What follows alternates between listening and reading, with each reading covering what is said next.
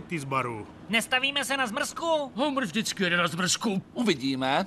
To vždycky znamená ne. Hmm, kde je máma? Musí mě hodit k vočkovi. Tati, máma pořád někoho někam vozí. Proč se nesvezeš hromadnou dopravou? Hromadnou dopravou jezdí jenom uchylouši a lesby.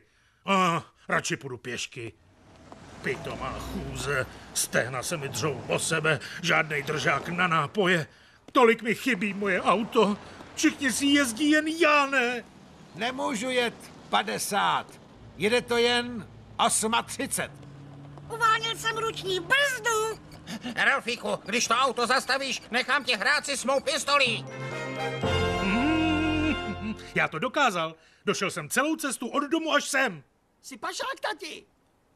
Docela mi to prospělo.